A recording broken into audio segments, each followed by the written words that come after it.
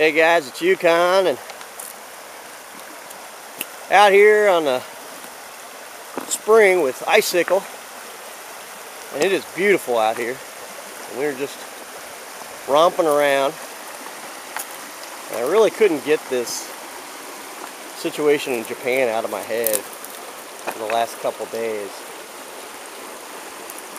And ever since I posted that video, The Return of the Ancient Gods, the timing of that video, I, like as I stated in the video, write up, uh, I was not even going to post that video because I didn't really think it was that good of a video. It was just some random thoughts, and I repeated myself, and I didn't think it was that great of a video.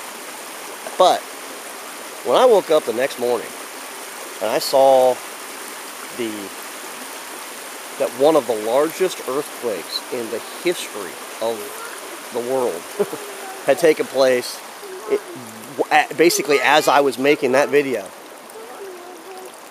I felt compelled to, to post it because that's exactly what I was stating. I was warning that we were heading for that all signs were leading, all roads were leading to uh,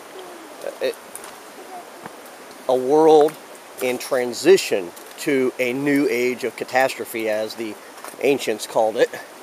They referred to that time period at the end of the last ice age as the age of catastrophe. And it was a time when civilizations all around the planet were being destroyed. That's that period of time is the wellspring from which the legends of Atlantis flowed. And we, of course, received those legends in large part from the ancient Egyptians who related those legends to the ancient Greeks because the Greeks had lost their history in the age of catastrophe. and of course, the ancient Irish and Central and South Americans and the Aryans of India they all share the same stories. That there was an age long ago when catastrophe set upon the earth. And the message that I was trying to relay in my last video was that, in my opinion, all signs point to the fact that we are returning to that point, to a new age of catastrophe. And in my opinion, that's the hallmark of the ice age. That's a hallmark of a planet in transition into and out of an ice age. That being said,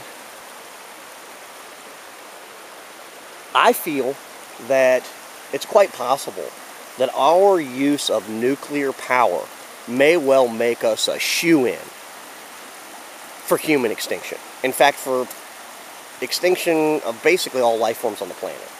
Cockroaches may survive, bacteria may survive, and viruses may survive, and there may be a few other organisms that are able to survive in a radiated environment. But um, by and large, that that's what that the use of nuclear power means to me. And I don't know if you can make this out, but those are sea creatures.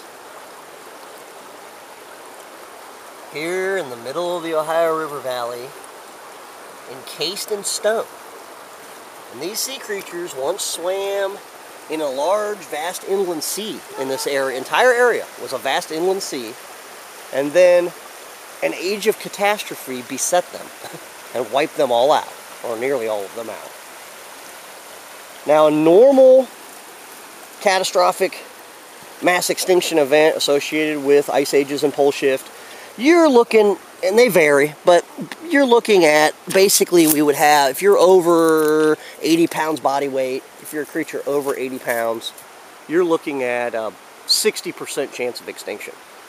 That seems to be the general rule, and some people might argue that percentage a little bit here or there. Some extinctions were bigger than others. The, however, in my opinion, our use of nuclear power makes us a shoe in. We are a shoe in for human extinction, in my opinion.